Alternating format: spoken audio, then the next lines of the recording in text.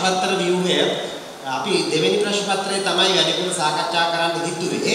එතකොට මේ ප්‍රශ්න පත්‍ර ව්‍යුහය තුල ප්‍රශ්න 12ක් ලැබෙනවා පුතේ. අපි හිතනවා 2016 2021 යෝජිත ව්‍යුහය තුලම විතරක් ප්‍රශ්න හැදේ කියලා. ඒත් මේ තියෙන අර්බුදකාරී තත්ත්වයක් එක්ක 12 ඕනම 10කට උත්තර ලියන්න කියලා උපදෙස් ලැබෙන්නත් පුළුවන්.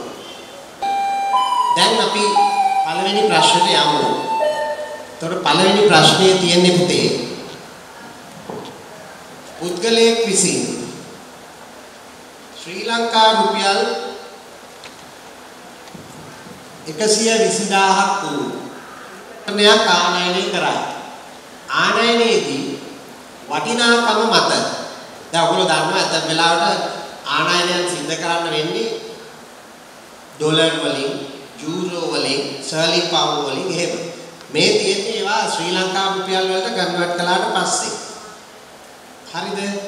එතකොට මේ දවස්වල ආනයන අපනයන ආනයන අර්බුදයකුත් තියෙනවා කියලා ඔයගොල්ලෝ අහලා තියෙනවා ඩොලර් ප්‍රශ්නයක් කියලා. අපි ඒකෙන් නිදහස් වෙලා අපි අපේ රුපියල් ප්‍රශ්නයට යමු රුපියල් 120000 මත 100ට කීයකද? 100ට 25ක තීරු බද්දක් තමයි අය කරන්නේ. ඕකෙදි අපිට පුළුවන් ක්‍රම දෙකක් තියෙනවා. මම එක ක්‍රමයයි මෙතන ඩිස්ප්ලේ කරන්නේ. 100 තියෙන එක මොකද වෙන්නේ?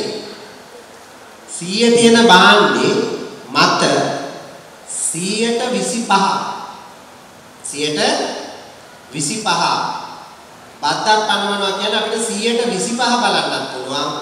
නැත්තම් 100ට ගෙනාවු භාණ්ඩය 100ට ගෙනාවු භාණ්ඩය මත තව 25ක් එකතු කළා. කීයද පුතේ වෙන්නේ? 125යි. 100 එක කීය වෙනවද? 125යි. එතකොට 125 වුණාට දැන් අපි ගෙනාවු භාණ්ඩය 120000යි. ඒ නිසා ඔන්න ඔය කාර්යය ලිව්වහම එක ලකුණක් ලැබෙනවා. දැන් ඔගේ බින්දු කැපෙන එක නම් ටිකක් ස්ලෝ පෙන්නලා තියෙන්නේ. ඒ වුණාට ඒකෙන් එන පිළිතුරට තමයි ඊළඟ ලකුණ ලැබෙන්නේ. ඔයගොල්ලෝ දන්නවා 100 බිඳු දෙක කපනවා කියන්නේ උඩයි යටයි 100ෙන් බෙදනවා. right. උතෙන්ට ලකුණු දෙකයි. උළු ලකුණු දෙකයි. හරිද? ඊළඟ කොටස මෙම වැය වූ මුදල 100 දැන් මේ මනුෂයා සල්ලි තිබිලා නෙමෙයි මේ බාණ්ඩ ගෙන්නලා තියෙන්නේ බැංකුවකින් ණයක් ගන්නවා මේ මුළු මුදල සඳහා 105ක වාර්ෂික වැල්පොලියට. වර්ෂ දෙකක් සඳහා වර්ෂ දෙකක් සඳහා ගෙවිය යුතු පොලිය ඒකෙදි ගණනය කරන්න ක්‍රම දෙකක් තියෙනවා. එකක් තමයි වර්ෂයෙන් වර්ෂයට පොලිය ගණන් බලලා එකතු කරමින් යන්නත් පුළුවන්. නැත්නම් කෙලින්ම 100ට 105න් ගුණ කරන්නත් පුළුවන්. දැන් මම මෙතන හදලා තියෙන්නේ අර හුඟක් දරුවෝ බයයි 100ට 105න් වැඩි කරන්න. ඒ අය කැමති 100ට 5න් ගුණ කරලා ආපහු එකතු කරලා යන්න. පොඩි අයනේ. හරි? මේ විදිහට. පළමු වර්ෂයේ අවසානයේ විතරක් බලන්නයි ඒ අය කැමති. ඒක 100 තීච් එක නම් කීයක් වෙනවද? 125යි. 100ක නම් 125යි 150ක ණයක් තමයි ගත්තේ. එතකොට 150ක ණයක් ගත්තේ 150යි මුදල කීයද වෙන්නේ? ඔව් 157500. 157500. ඊළඟට පුතේ දෙවෙනි වර්ෂයට බලන්න. නැවත මොකද කරන්න ඕනේ?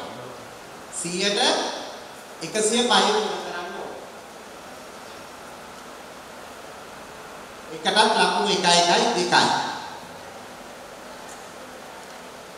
අපෙන් අහන්නේ ඕක නෙමෙයි. අපෙන් අහන්නේ ගෙවීමට සිදුවන පොලිය. දැන් ඔයාලට තියෙන පුතේ වර්ෂ දෙක අවසානයේ මුළු මුදල. ඔය 165000 ඔය 165375න් 150 අඩු කළා වෙනවා පුතේ පොලිය. හරිද? 15375යි. නිවැරදි නම් එතෙන්ට ලකුණත් එක්ක මුළු ලකුණු 3යි. හරිද?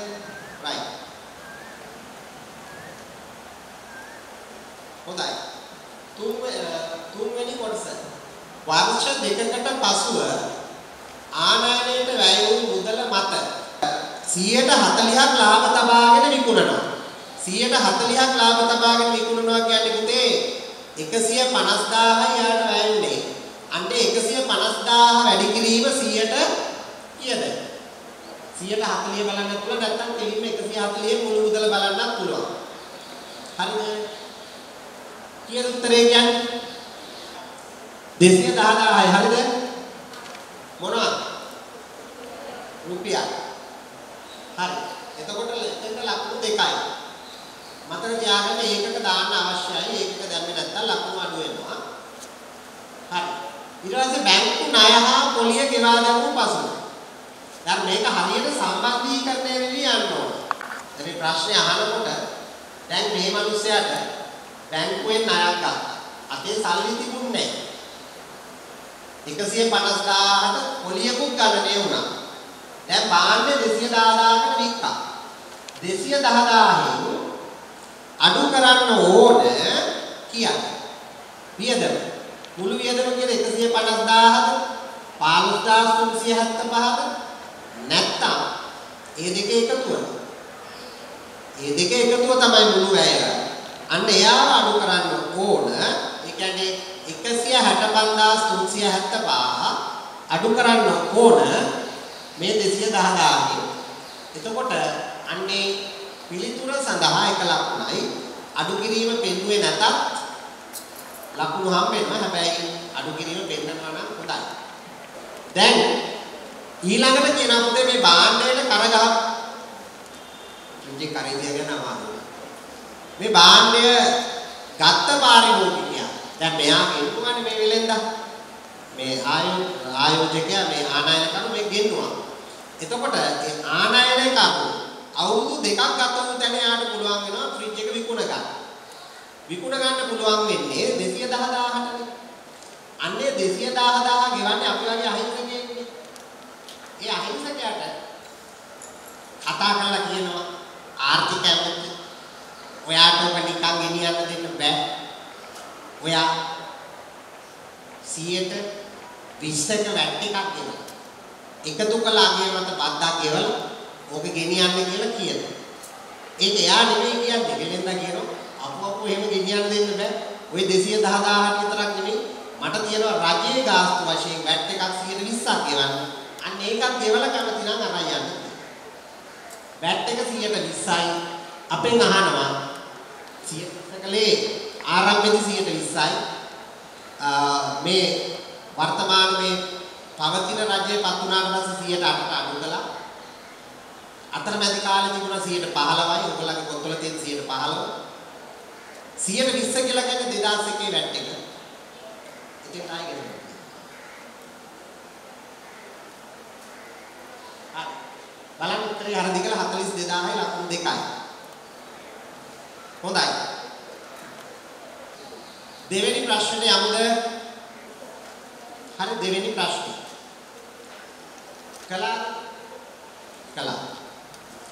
එතන පුතේ අංක 10 කියලා තිබුණාට සමා වෙන්න ඕන ඒක මේ අංක දෙක. ඕගොල්ලන්ගේ දෙක කියලා තියෙන අපි අමු ගාලන්නේ ප්‍රශ්නෙට. මේක කියන්නේ පැත්තක දිග. පැත්තක දිග සෙන්ටිමීටර් 24ක් වූ සමචතුරස්‍රාකාර පතුලක් සහිත සමචතුරස්‍රාකාර පතුලක් සහිත ඝනකාභ නැති ඝන ලෝහ කුට්ටියක දිග 32ක් වේ. ඒ කියන්නේ පුතේ අඩිය ඕ පැත්ත හරියටම 24යි 24 එක. මේ තියෙන්නේ ඝනකාභයේ කුට්ටිය. එයාගේ පතුල 24යි උස 32යි 24යි 24 පුතේ අඩිය. ඕක හැඩය වෙනස් කරනවා ගෝලයකට. දැන් ඔයගොල්ලෝ ඒක රවුමක් කියලා ඕක 3D වෙන්න පොඩ්ඩක් පුරවන්න ඕන පුරව ගන්න වෙලාම. අරය ඒ. මොකද්ද සම්බන්ධය? මොකද්ද සම්බන්ධය? මේ දෙන්නගේ සම්බන්ධය මොකද්ද? පරිමාව සමානයි අර වැටුණා නේද? ඒකත් වැටුණා. දැන් මට කියන්නේ ඝනකාභයක පරිමාව හොයන්නේ කොහොමද? දිග වැඩි කිරීම දැන් මට කියන්න ගෝලයක පරිමාව මොකද්ද 3න් 4යි පයි r ඝනය. 3න් 4යි පයි r ඝනය. එතකොට මේ පරිමාණ දෙක සමානයි. ඒකට සූත්‍ර දෙක ලියන්න ඕන. සූත්‍ර දෙක මොකක්ද පුතේ? පළවෙනි එකේ තියෙනවා දිග වැඩි කිරීම පල්ල වැඩි කිරීම උස. හරි දිග වැඩි කිරීම පල්ල වැඩි කිරීම උස.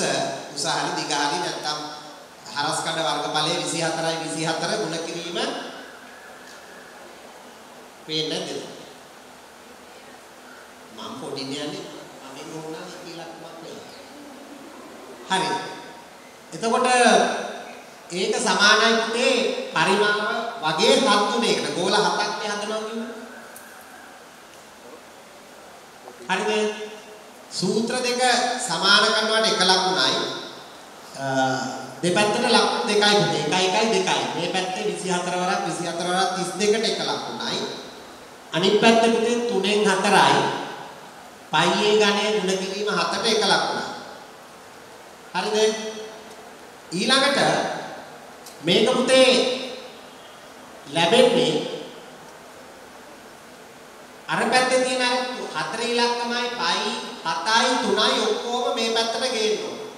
මට කියන්න.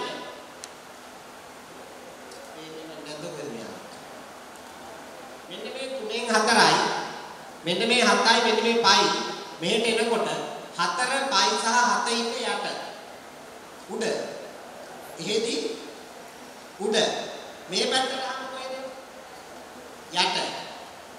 මෙතන ඉන්නවා යට ඉන්නවා 3. එයා මේ පැත්තට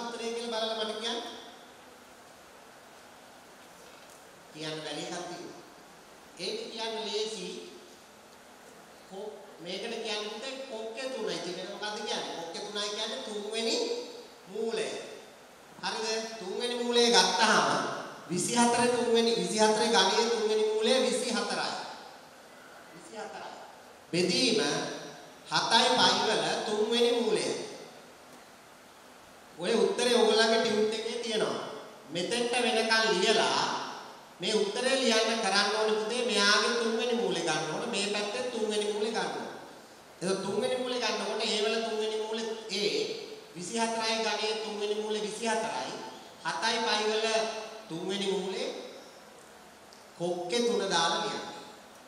කොක්කට තුන. ඉස්සරහට නෙමෙයි දාන්නේ පැහැදිලිවම කොක්ක ඇතුළට තුන. හතරයි හොඳේ. ඊළඟට ලඝු ගණක වගුව භාවිත කරලා හදනවට තියෙනවා ලකුණු 6ක්. දැන් ලකුණු 6 ලැබෙන්නේ උතේ. මෙතන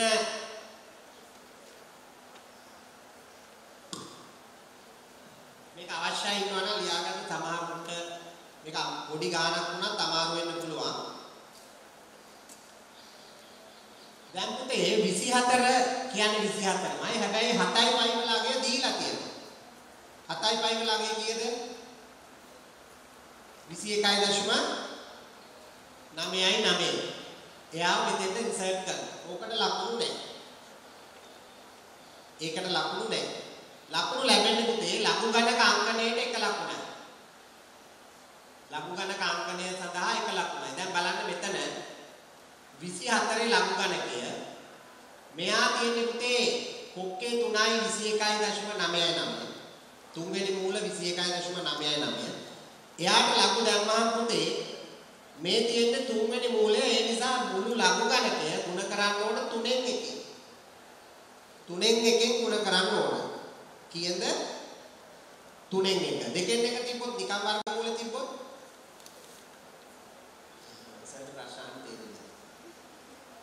ප්‍රශ්නේ උත්තරේ දෙකම මම කිව්වා. මොකක්ද වර්ගමූලයේ තිබ්බොත් ඒ කියන්නේ දෙකෙන් එකයි. වර්ගමූලයේ තිබ්බොත් කීයද?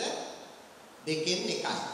හරි. දැන් මේක යමු බලන්න ලකුණු ගණක අංකණය ගොඩක් අය දන්නේ නැහැ ඇයි කියලා ගොඩක් අය මේක ලියන්නේ නැහැ. හිතන් ඉන්නවත් දන්නේ ලිව්වේ නැතත් කමන්නේ මොක බලන කෙනාම ලියාගෙන බලයි සමහර දරු උත්තර ලියනකොට අපිට එහෙම හිතෙනවා ඔයා කැමති නම් මේ වේලි ටික ලියාගෙන බලන්න. මගේ උත්තරේ මේකයි. මගේ ලියනා ඉන්නවා. සමහර උත්තරෙත් හරි. හැබැයි ගොඩක් එයාගේ හිතේ එක්ක කටු වැඩකුලේ. ඉතින් එකක්වත් ගැලපෙන්නේ නැහැ පුතේ. O level ලියන ධර්මයෙන් අපි බලාපොරොත්තු වෙන්නේ නැහැ. පහේ ශිෂ්‍යත්වයේ ළමයිගේ වගේ ඇඟිලි ගැනලා උත්තරේ ලියයි. නැත්තම් ඒ ඒ උසස් පෙළ ළමයි වගේ පියවර ගණනාවක් මහාචාර්යවරයෙක් වගේ පියවර ගණනාවක් හිතේ තියාගෙන ඉතුරු අත්‍යවශ්‍ය පියවරක් ලියන්නේ. උසස් පෙළදිත් ඒක බලන්නේ. මොකද උසස් පෙළදී ස්පීඩ් එක බලන නිසා ඒක බලන්නේ. හැබැයි ඕ ලෙවල් වලදී බලන්නේ නැහැ. අපේ සාමාන්‍ය පෙළ ශිෂ්‍යාවක් වුණ ශිෂ්‍යාවක් ලියන ක්‍රමයට තමයි අපි මේ ගණන පෙන්නලා තියෙන්නේ. ඊළඟට මේකේ ලඝු ගණක දෙක සඳහා ලකුණු දෙකක් ලැබෙනවා. දැනට එක ලකුණයි. 24 ලඝු ගණකයේ පුතේ පොතෙන් බැලුවොත් 38යි 0.2. එයාට මේ ලකුණ. මේ ලකුණ එයාට. මෙතන මෙයාගේ ලඝු ගණකයේ ලියනවට පොතේ එක ලකුණක් ලැබෙනවා. හරිද? එතකොට ලකුණු දෙකයි. ඊළඟට තව ලකුණක් ලැබෙනවා පොතේ මෙයාව තුනෙන් බෙදනවට. මේ 13ට 3 වරක් 4යි. මට ඒක එක සැරේ ලියවෙන්න හදලා තියෙන්නේ 13ට 3 වරක් 4යි. 14ටත් 4යි. දෙකක් ඉතුරුයි 25ට 8යි. එකක් ඉතුරුයි 12ට 4යි. හරිද? 34යි 22 එන්නේ කොහොමද?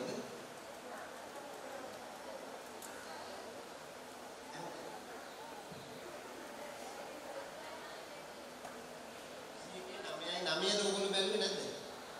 බැලුවාම කීයක් තියෙන්නේ? 34යි 52 නෙමෙයිද? කීයක් තියෙනවද? කියන්න. ආ එහෙනම් මෙතන ටයිපින් එරර් එකක් තියෙනවා. එහෙමනම් ඔයගොල්ලන්ගේ උත්තරය අනුව යන්න වෙනවා. 34යි 22. එතකොට අපි 22ක් අඩු කළොත් දෙකෙන් දෙකක් බිඳුවයි. ඒකනේ බෙදන්න තියෙන්නේ. මට කියන්න බෙදලා ඉන්නේ කීයද කියලා?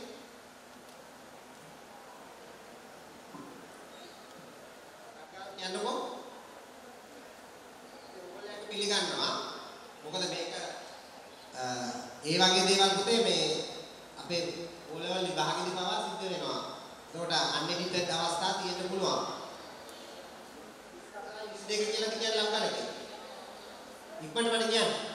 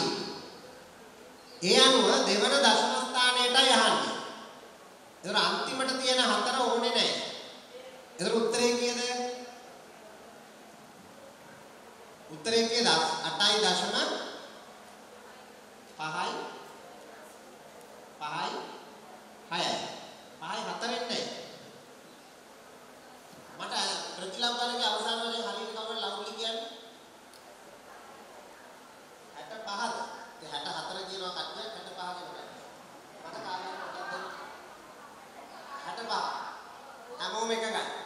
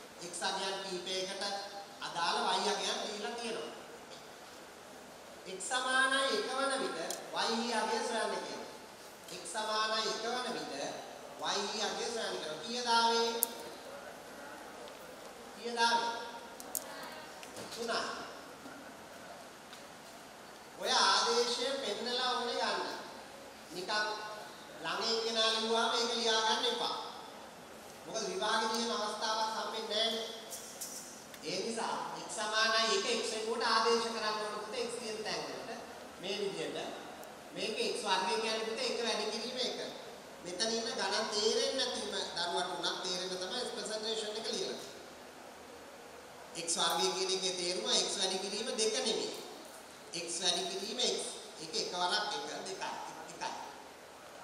දෙවරක් එක දෙකයි දෙකෙන් එකක් එකයි එකයි දෙකයි තුනයි. ආ හරි ඊළඟ ප්‍රශ්න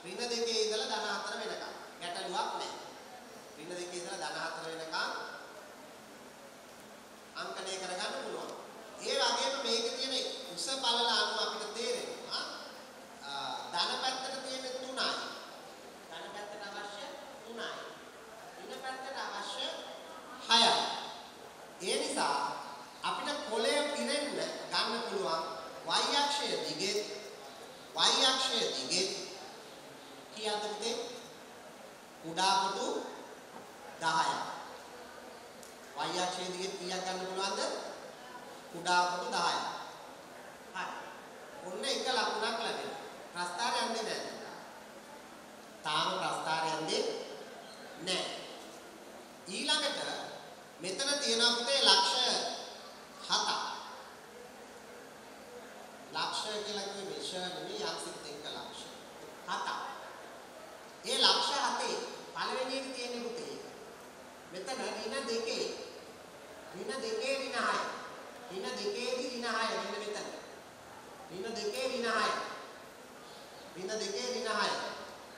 ඊළඟට තියෙන පුතේ ඍණ එකේ ඍණ එක ඍණ එකේ ඍණ එක කියන්නේ මෙතන ඍණ එක ඍණ එක කියන්නේ මෙතන මෙන්න මේ ලාභය හරිද ඍණ එකේ ඍණ එක ඊළඟට මම ලක්ෂණ කිප්පණි ලකුණු ගන්න වෙලාව මදි ඒ නිසා උන්න සුපුරුදු ලෙස ලක්ෂණ ටික ලකුණු කරලා ප්‍රස්තාවය යන්න හරිද දැන් ඔක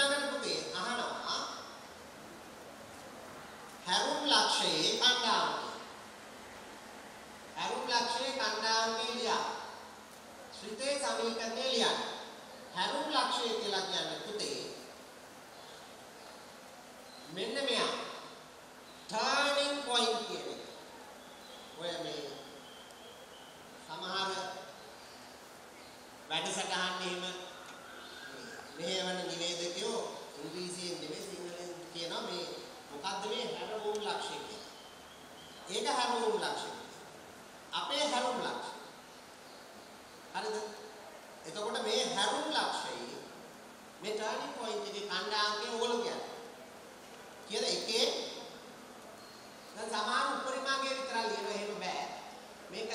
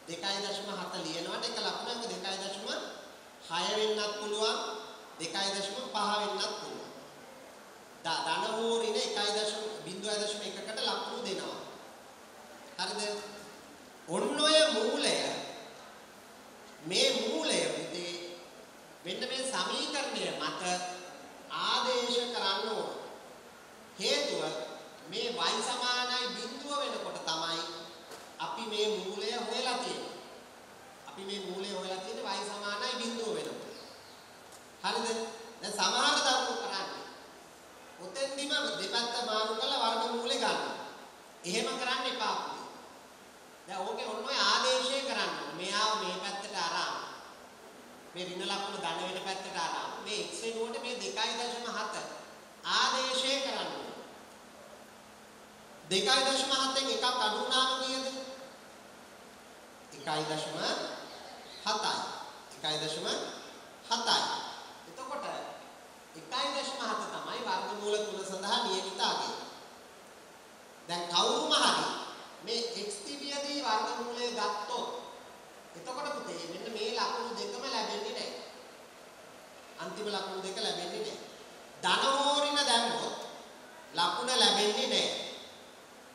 ධන හෝරින දාන්න නම් පුතේ.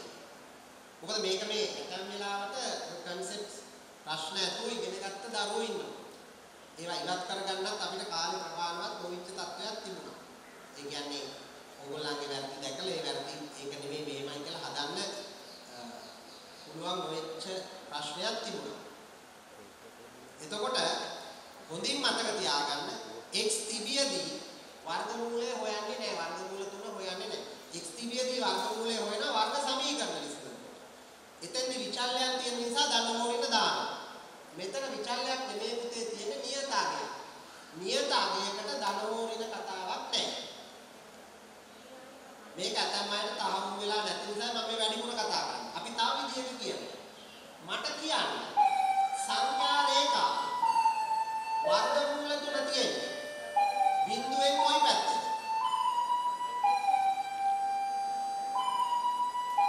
සංඛ්‍යා රේඛාව මත වර්ගමූල තුන කාට හරි පෙන්වන්න කිව්වොත් දල වශයෙන් ඒක ඔයාලා පෙන්වන්නේ මේ බිඳුවේ දකුණු පැත්තේද දින පැත්තේද දින පැත්ත වම් පැත්තේද දකුණු පැත්තේ. මොන පැත්තේද? මොන පැත්තේද? ඍණ පැත්ත ඕගොල්ලෝ දන්නේත් නැහැ. ඍණ පැත්ත ඕගොල්ලෝ දැක්කෙත්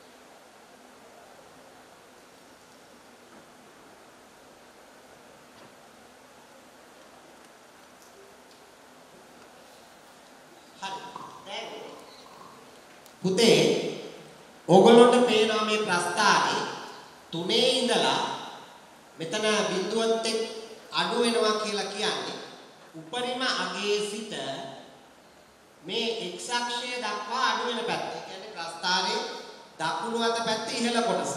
ප්‍රස්ථාරේ කොටස් හතරක් තියෙනවානේ. x අක්ෂයෙන් පහළ පැත්ත වම් පැත්තේ. x අක්ෂයෙන් උඩ පැත්ත ඒකත් ප්‍රස්ථාරේ වම් පැත්තේ. ඊළඟට x අක්ෂයේ උඩ පැත්ත ඒක දකුණේ තියෙන කොටස තමයි අඩු වෙන්නේ. හරිද? තුනේ සිට එක තෙක් අඩු වෙන බිඳුව තෙක් අඩු වෙන්නේ. අපි බලමු ඒ පෙන්නන එතෙන්දී y 3 වෙනකොට x අගය පුතේ 1යි. y 3 වෙනකොට x අගය කීයද? 1යි. ඊළඟට මෙතන මෙයා ඇවිල්ලා අඩු වෙලා y බිඳුව වෙනකොට පුතේ x අගය වෙන්නේ 2.7ක් විතර. ඔයගොල්ලෝ ඇඳපු ප්‍රස්ථාරේ අණුව පොඩ්ඩක් බලන්න. ඇඳපු ප්‍රස්ථාරේ අණුව චුට්ටක් බලන්න. හරිද? බලන්න හරිද කියලා. මේ අගයන් දෙක වෙන්නේ එකත් 2.7ක් අතරේ. එතෙන්දී පුතේ මේ එක කියන අගය තුනට සමාන නිසා එක කියන x අගයේදී සමානතාවය දාන්න ඕන. සමානතාවය දාන්න අවශ්‍යයි. හරිද? right. හොඳයි. අපි යමු හතරවෙනි ප්‍රශ්නේ.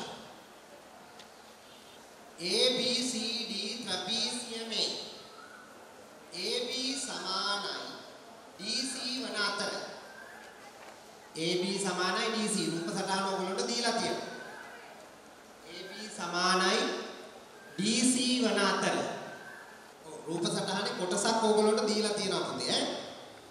AB සමානයි DC වන අතර DC සමානයි x ද AB සමානයි x ධන 6ද වේ. හරි. DC අඩු කිරීම BC අඩු කිරීම DC 1යි. BC අඩු කිරීම DC 1යි. ත්‍රැපීසියමේ වර්ගඵලය 55යි. පුතේ මේකේ මේ AB සමානයි DC කියන එක ඒක ටයිපින් එකේ නැහැ. එහෙම එකක් ඕනේ නැහැ. ඒක නෙමෙයි තියෙන්න ඕන. මෙතන C වල කෝණය ඍජු කෝණය ලකුණු කරගන්න. ඒක අතපසු වීම. හෝ නැත්නම් රේඛා දෙක සමාන්තර බව. මේ දෙකෙන් එක දත්තයක් දාගන්න. ඒක ප්‍රශ්න පත්‍රයේ ටයිප් කරනකොට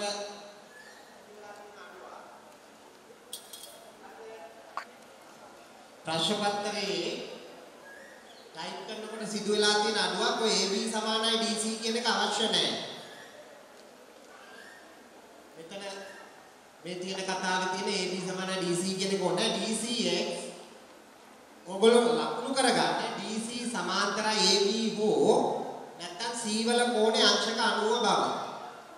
අනිත් එක සමාන්තරතාවයේ ලකුණු නොකලත් ප්‍රශ්නෙකුත් නැහැ ට්‍රපීසියම කියලා තියෙනවා. මෙන්න මේ DC සමානයි x කියන දත්තය වැදගත් AB සමානයි x ධන 6 කියන දත්තය වැදගත් BC ඍණ DC සමාන 1යි කියන එක අවශ්‍යයි. අපි බලමු ගාන හදන්න. ත්‍රපීසියමක වර්ගඵලය ත්‍රපීසියමක වර්ගඵලය මොකද්ද පුතේ? දෙකෙන් එකයි. සමාන්තර පාද දෙකේ එකතුව දෙකෙන් එකයි.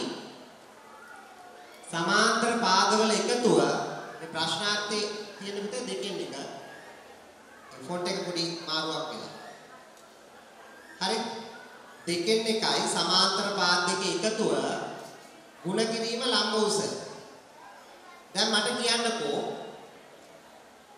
දෙකෙන් එකයි සමාන්තර පාද දෙක කියන්නේ මොකද්ද AB හා DC AB වලයි AB වල දිග x ධන 6යි. DC වල දිග x. එතකොට මේ දෙන්නාගේ එකතුව x ධන 6 ධන x ගුණ කිරීම ලම්බ උස.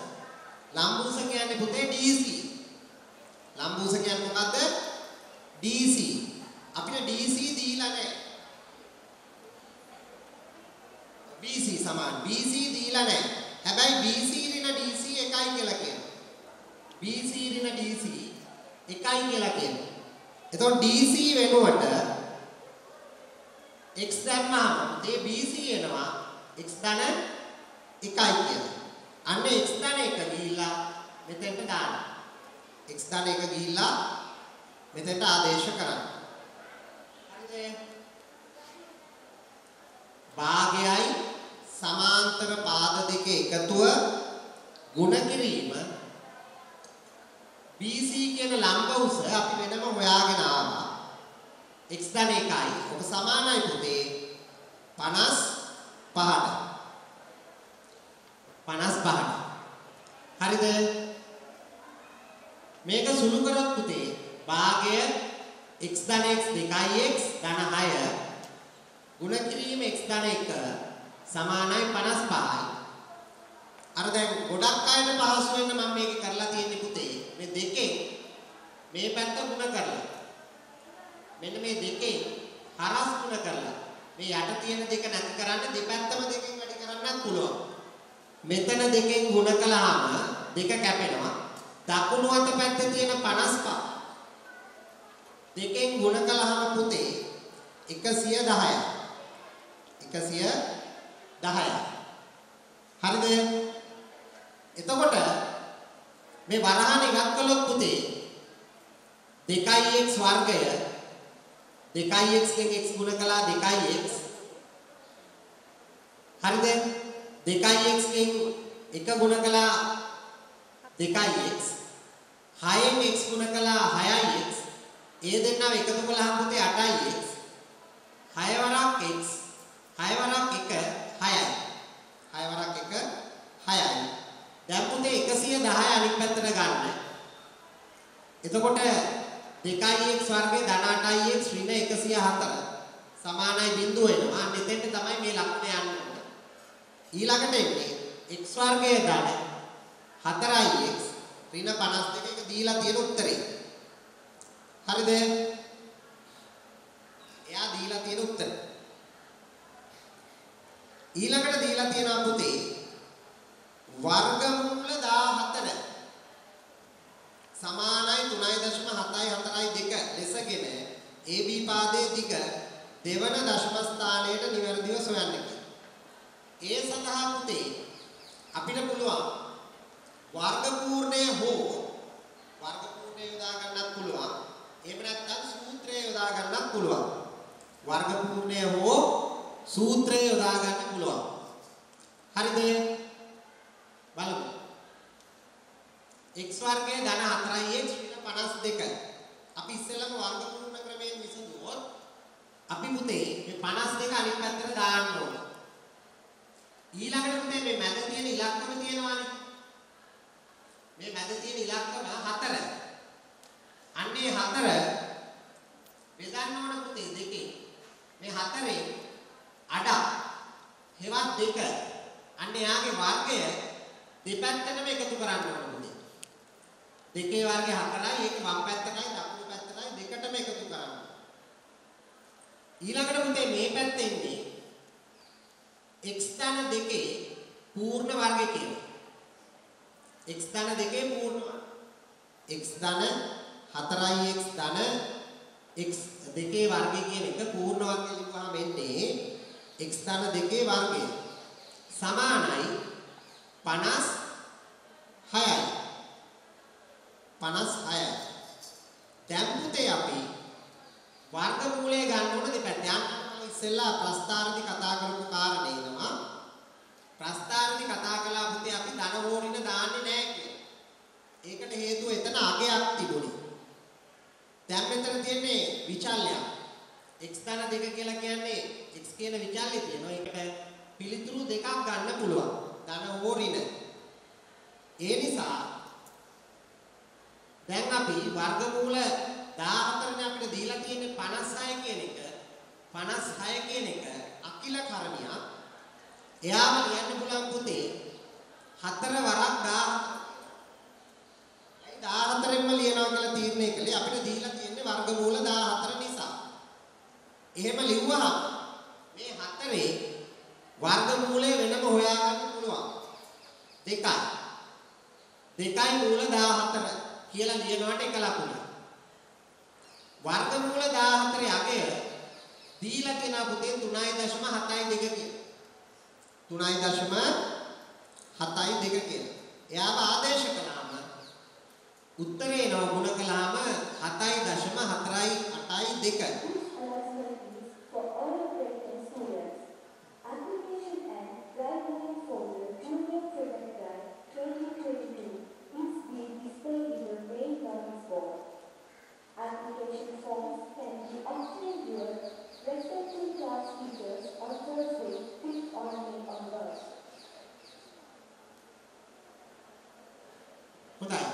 දැන් ඊළඟට තියෙන පුතේ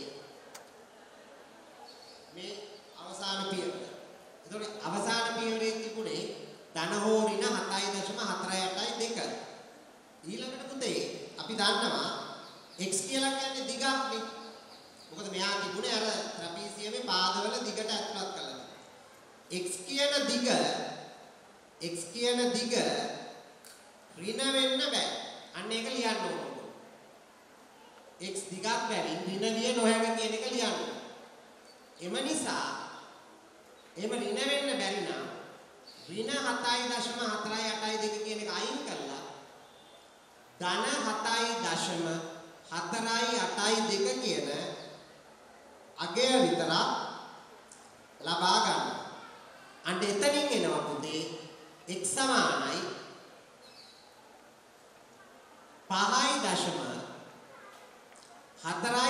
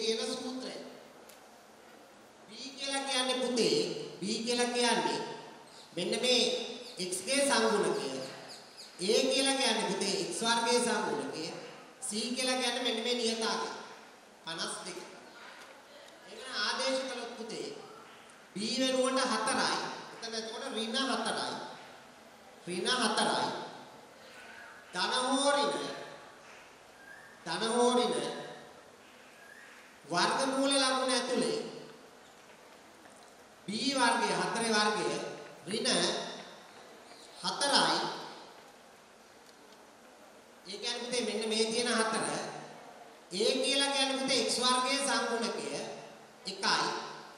C කියලා කියන්නේ පුතේ මෙන්න මේ නියත අගය. ඍණ 52යි බෙදීම දෙවරක් A.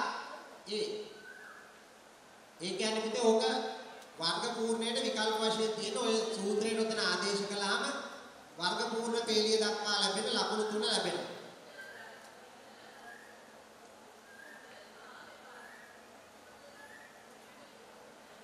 එතකොට පුතේ හතර වරක් 52 208යි විනාඩි 208යි 16යි 208යි 224යි 224 ලියන්න පුළුවන් වෙනවා පුතේ අපිට. 224යි කියන්නේ. 16 වරක් 14 පුතේ ඒක හතර වරක් 14 වෙනවා 224යි කියන්නේ පුතේ 16 වරක් 14 16 වර්ගමූලේ 4යි 16 වර්ගමූලේ තමයි එළියට ගන්න 4යි කියන්නේ හරිද පුතේ එතනින් පස්සේ ගාන කලින් විදියමයි වෙනසක් නැහැ උඩ තියෙන මෙන්න මේ 4 මේ 4 බෙදන්න ඕනේ පුතේ දෙකේ. එතකොට ඉතුරු වෙන්නේ දෙක රින. දෙක ධන හෝ රින. දෙක ගුණ කිරීම 3.74යි 2. දෙකෙන් 3.74යි 2 ගුණ කළාම ඉස්සෙල්ලා වගේම 7.48යි අර කලින් ලිව්වා වගේම පුතේ ඍණ පිළිතුර ගන්නේ නැහැ කියලා අයින් කළා. අවසාන පිළිතුර ලබා ගන්න ඕන.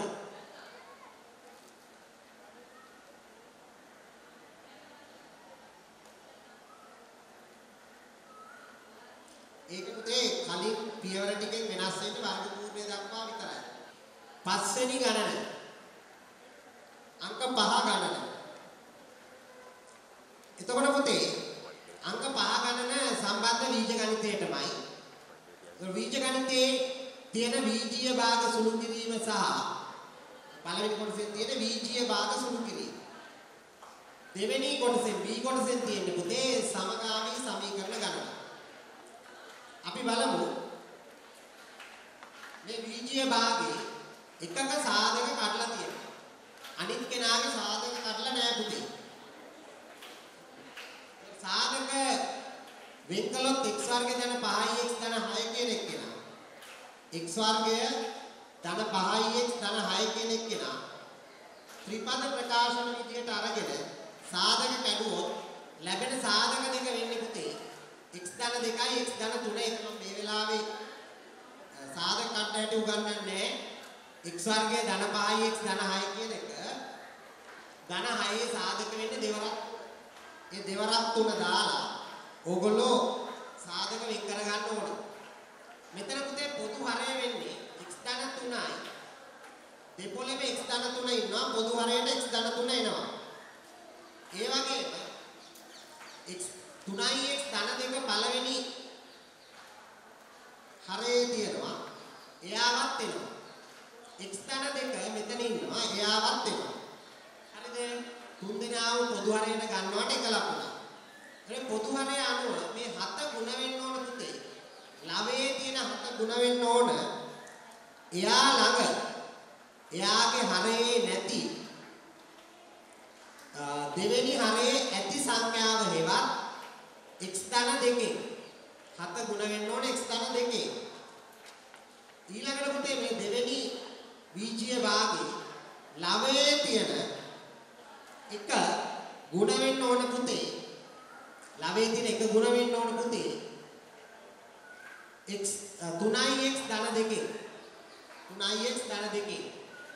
එතෙන්ට වරහන් අයින් කළාම පුතේ අපිට ලැබෙනවා 7x ධන 14. 14 ඒ 7x ධන 14යි ඊළඟ වරහන් අයින් කළාම 3x ඍණ 2යි එනවා. ඔතන 3x ඍණ 2 සහ 7x ගෙන් 3x අඩු කළාම 7x ගෙන් 3x අඩු කළාම 4x එනවා. 14න් 2 අඩු කළාම 12ක් එනවා.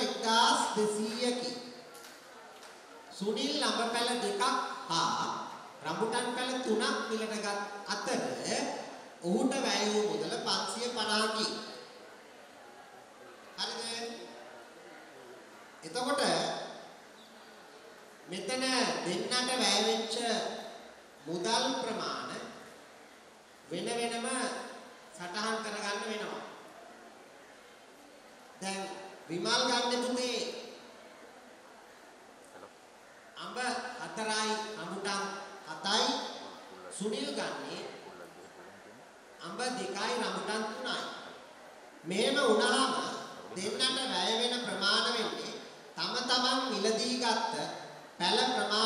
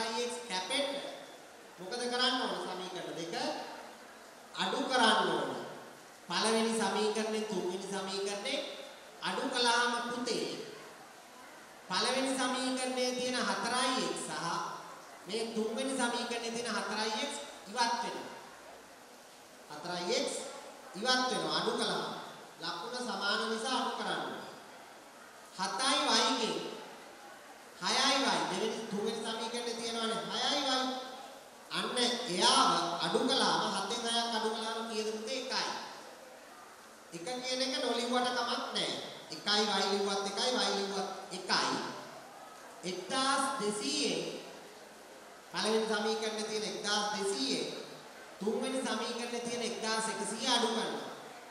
එතකොට එන්නේ 100යි.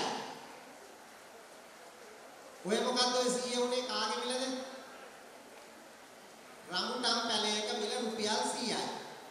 දැන් පුතේ ඔය 100 y වල අගය මේ සමීකරණ දෙකේ කැමති එකක ආදේශ කරන්න පුළුවන්. ඕගොල්ලෝ ආසෙන් කෙනෙක්ගේ ආදේශ කරන්න පුළුවන්. හැබැයි මෙතන කුඩා සමීකරණය වෙන දෙකයි දෙවෙනි සමීකරණය ආදේශ කළොත් 2x ධන 3 වැඩි කිරීම 100 සමානයි 550යි. 3 වරස් 100 300යි. එයා අඩු වුණාම 550යි. 2x සමානයි 200යි. දැන් උදේ දෙකෙන් බෙදුවාම x සමානයි 125 ලැබෙනවා එකට එක ලකුණයි. හරිද? දැන් මේ වෙන විට ලැබිලා තියෙනවා ලකුණු 1යි 2යි 3යි 4යි 5යි. ලකුණු පහක් ලැබිලා තියෙනවා.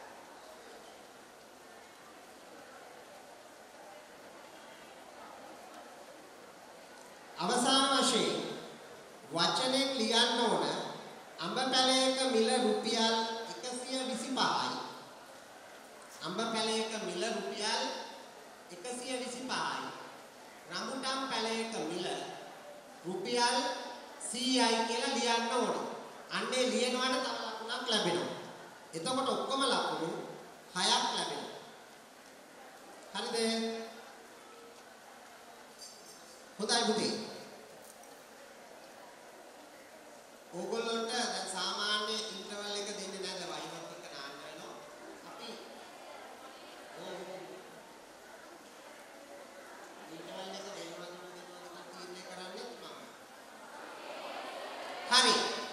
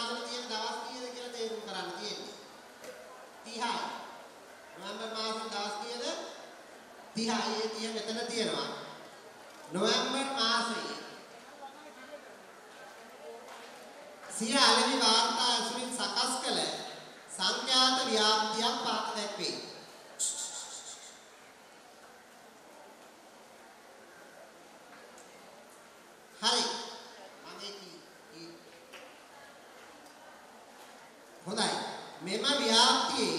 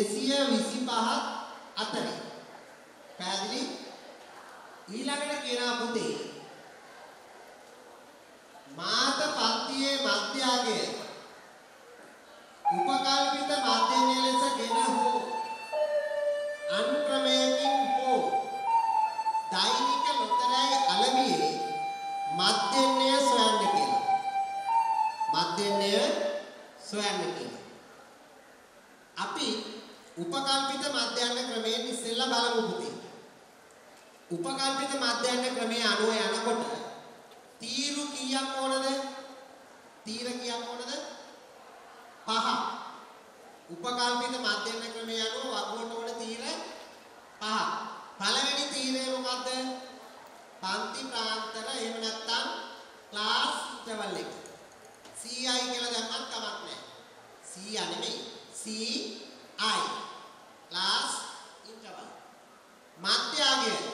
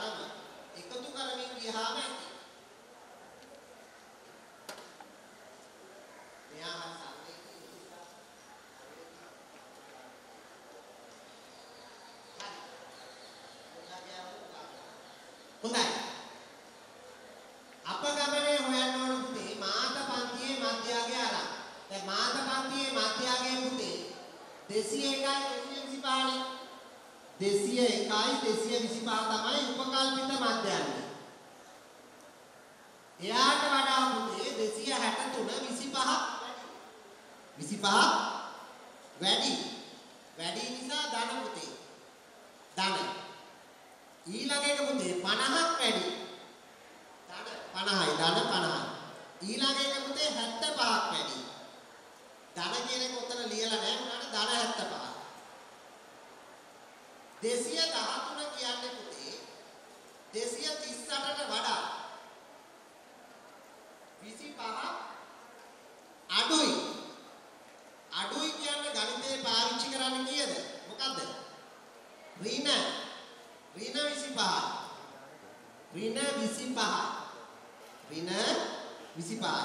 ඊළඟ එක්කෙනා 180 කියන්නේ පුතේ 50ක් අඩුයි. ඍණ 50යි. ඊළඟ එක්කෙනා 75ක් අඩුයි. බලන්න මෙතන ලකුණු සටහන් වෙනවා මධ්‍යයාගේ තීරයට එක ලකුණ. කළු පාටින් වැටෙන්නේ ලකුණ පුතේ. අපගමන තීරයට එක ලකුණයි. දැන් අපගමන තීරය ආවේ ඍණ පැත්තට ඍණ 25 ඍණ 50 ඍණ 75 උඩට යනකොට 238 කෙලින් දාන්න බිංදුව 238 කියන්නේ උපකල්පන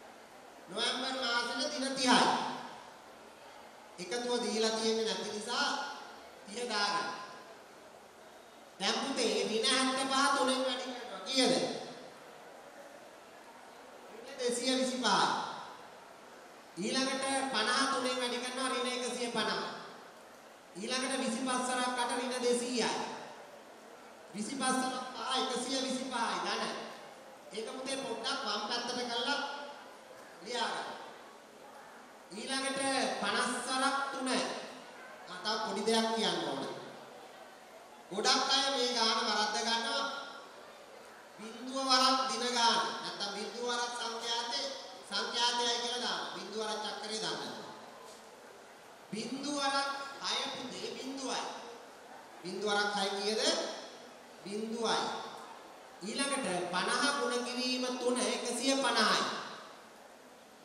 75ත් 150යි 75 ඊළඟට පුතේ මේ ඍණ ටික එකතු කළාම ඍණ 225යි ඍණ 150යි ඍණ 200යි එකතුව පුතේ ඍණ 575යි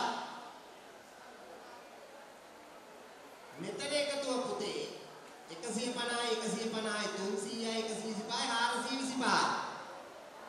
මෙයා අනුකලාව පුතේ ඉන්නේ දින 150යි. ඒකට අපි කියනවා මොකද්ද පුතේ? සිග්මා FT කියලා. සිග්මා FT කියන්නේ දින 150යි. දැන් බලන්න ඔය වගුවට තියෙනවා පුතේ ලකුණු පහ. වගුවට තියෙනවා ලකුණු පහ. මේ ගුණනයන්නේ එක් අවස්ථාවක් වැරදි කිරීමේ අයිතිය ඕගොල්ලන්ට තියෙනවා. කරන්න